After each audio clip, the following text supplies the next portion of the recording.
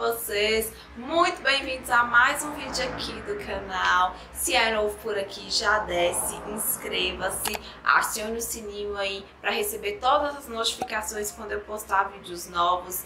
Deixa aquele like se esse vídeo te ajudar, se você gostar do conteúdo. E convide também aquela amiga que reclama que o cabelo não cresce de forma alguma, que já fez de tudo e que o cabelo não sai do lugar. Compartilhe então esse vídeo com essa amiga que eu tenho certeza que ela vai gostar do conteúdo abordado aqui hoje. E me sigam também em tempo real no Instagram, arroba Renata Rocha Lopes. Vamos ao vídeo de hoje, vou trazer para vocês é, algumas dicas e vou mostrar seis erros que impedem o seu cabelo de crescer ou de acelerar esse crescimento, né? De crescer mais rápido, tá? Primeiro erro, não fazer tratamento no couro cabeludo.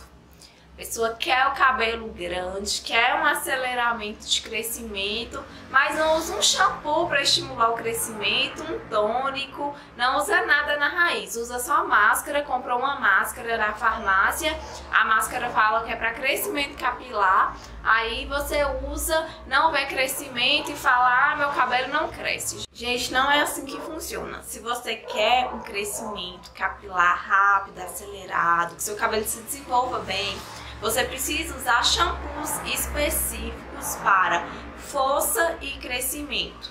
Lembrando que força e crescimento andam assim, ó, juntinhos. Meus dedos estão um pouco vermelhos porque eu passei lip tint e eu usei os dedos pra aplicar. Enfim, você precisa comprar shampoos de qualidade que estimulem o crescimento, tá? E tônicos também para você aplicar aqui no couro cabeludo e fazer massagem circular pelo menos duas vezes por semana. Tá? Então, um erro que talvez impeça o seu cabelo de crescer, que é você não dedicar a usar produtos específicos para crescimento capilar. Então, a partir de agora, você vai investir em shampoos e tônicos para crescimento capilar, tá? Alguns que eu deixo como indicação que eu já usei e que eu uso e que dão super certo para crescimento e fortalecimento.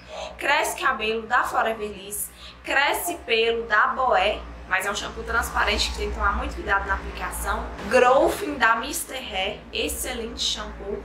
E os tônicos da Forever Liss Cresce Cabelo e o tônico da Mr. Hair Growth. São dois tônicos excepcionais que ajudam demais a estimular esse crescimento. Vamos então ao segundo erro. Cortar o cabelo a cada 30 dias. Quem nunca ouviu falar que quanto mais você corta o seu cabelo, mais ele vai crescer? Não é bem assim, tá? Eu estou falando aqui de erros que eu cometia e que meu cabelo não crescia, que eu parei de cometer e que agora o meu cabelo tá crescendo bastante. Então esse segundo erro eu cometia bastante. Gente, a cada 30, 40 dias, lá estava eu no salão, ó, tirando 2, 3 centímetros das pontas, porque eu escutava falar que quanto mais eu cortasse meu cabelo, mais ele ia crescer. Que mito! O que que acontecia? O meu cabelo não saía do lugar. Por quê? Ele crescia 2 centímetros por mês, eu ia lá em 30 dias e cortava 2 centímetros. Como que o cabelo vai crescer dessa forma? Me diga!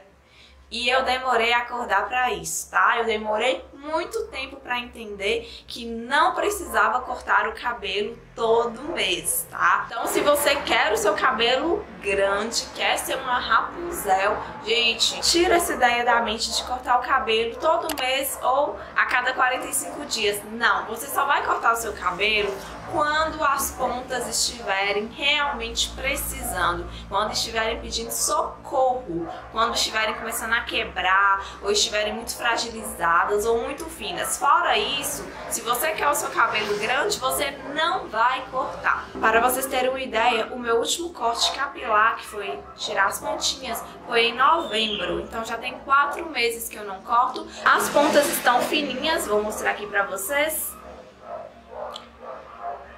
mas não estão quebrando, tá? Isso aqui é só estética. E se eu quero ver o meu cabelo grande, eu não vou cortar a menos que realmente precise, tá? Eu vou esperar aí mais uns dois meses para poder tirar somente as pontinhas.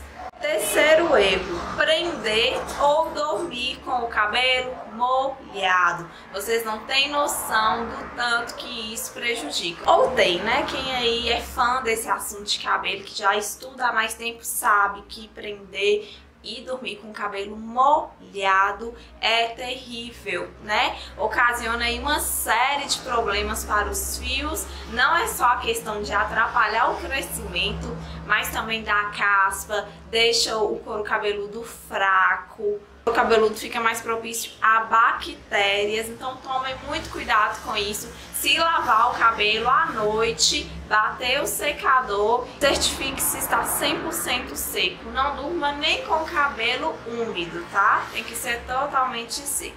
Quarto erro que impede o seu cabelo de crescer é não usar produtos de qualidade, tá?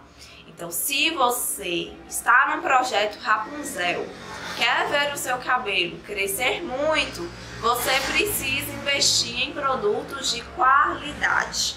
E quando eu falo em produtos de qualidade, eu estou falando de shampoo, máscara de tratamento, condicionador, tônico, leave-in, tudo que você for usar no seu cabelo a partir de agora precisa ser produto de qualidade e específico para o seu tipo de cabelo. Os shampoos precisam ser voltados para crescimento capilar, se esse é o seu desejo, tá? E você pode também adquirir uma linha completa de crescimento capilar que vai ajudar ainda mais. Indico para vocês linha Cresce Cabelo da Forever Elise, linha Cresce Pelo da Boé, linha Growth da Mr. Hair e também Monovit Pro A da Amba, que é excelente. Tem o shampoo, a máscara e uma ampola de tratamento de vitamina.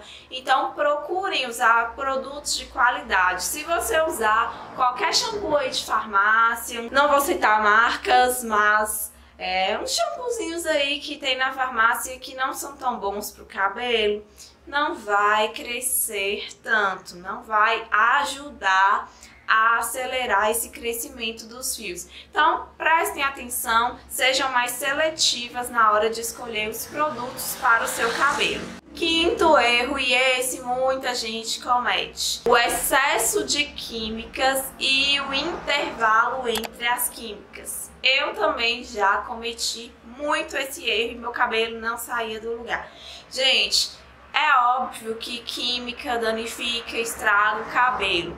Eu não sou contra alisamento, eu não sou contra descoloração, eu não sou contra coloração, nada disso. Até porque eu também faço em meu cabelo e acho que ajuda demais na nossa autoestima.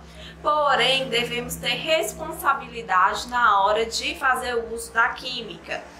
Vou dar um exemplo. Vai fazer um ano que eu fiz as mechas pela última vez. Tá todo mundo me perguntando. Que dia que você vai fazer suas mechas?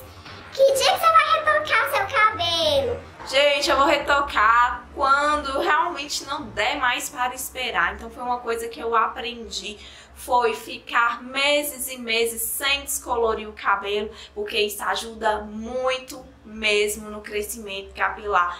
Quando eu fazia retoque de mechas a cada quatro meses, meu cabelo não saía do lugar, ele ficava estacionado ali no mesmo tamanho, tá? Então a dica que eu deixo para você faça sua química, mas dê um intervalo grande, tá? Você vai ficar o tempo máximo possível sem fazer a química.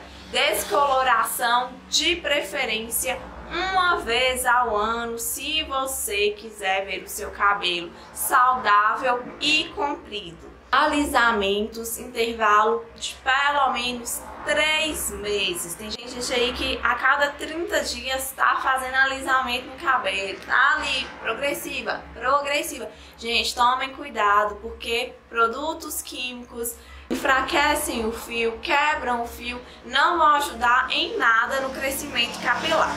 Sexto e último erro que talvez esteja impedindo o seu cabelo de crescer alimentação e nutrição. Você alimenta de qualquer forma, só come bobagens, muita gordura e bebe pouca água, gente, a chance de seu cabelo crescer saudável e de ter um crescimento acelerado é muito pequeno, tá? Então, depois que eu mudei minha alimentação, passei a alimentar mais saudável e a beber mais água, porque, porque para mim era um problema, eu bebia pouca água. Então, depois que eu aumentei a quantidade de água diária melhorou demais em diversos benefícios no meu corpo, minha pele, tudo.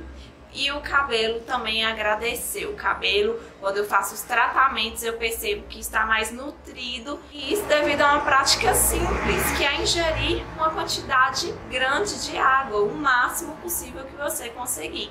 Comece aos poucos, né? Vai aumentando a cada dia a quantidade de água e melhore sua alimentação, né? Ingestão de verduras, legumes, de alimentos saudáveis ajuda muito na saúde do fio. Estes foram os erros que eu, Renata, cometia e ficava frustrada porque não conseguia atingir o crescimento dos meus fios. Espero de verdade colaborar de alguma forma aí para ajudar no seu crescimento capilar. Coloque essas dicas em prática. Depois não esqueça de voltar aqui para me contar os resultados. Compartilhe esse vídeo com as amigas. E é isso. Se gostaram desse tipo de vídeo, desse tipo de conteúdo, também comentem, deixem o um like para que eu possa produzir mais conteúdos voltados para assuntos de crescimento capilar. Amores, eu queria pedir desculpa pelos barulhos aí externos que vocês estão escutando. Estou gravando o vídeo numa avenida, é muito movimentada, tem muito barulho, às vezes atrapalha até minha concentração na hora de falar aqui no vídeo. Mas é o que temos para hoje. Espero que tenham gostado. Aguardo você no meu próximo vídeo, hein? Um super beijo!